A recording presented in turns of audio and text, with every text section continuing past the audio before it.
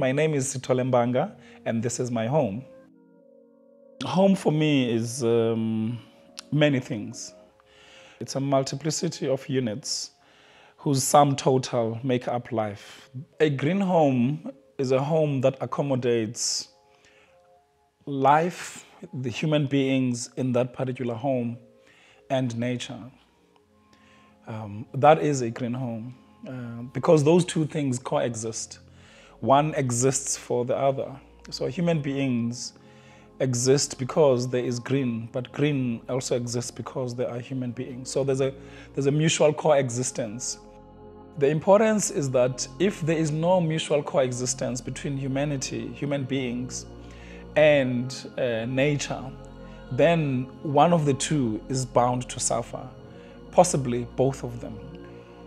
The first step towards a green home is living simply. Living simply implies being less dependent on energies such as electricity.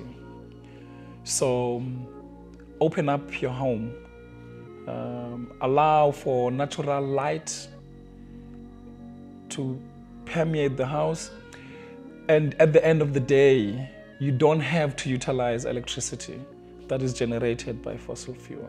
So the first step is living simply. Bring change home.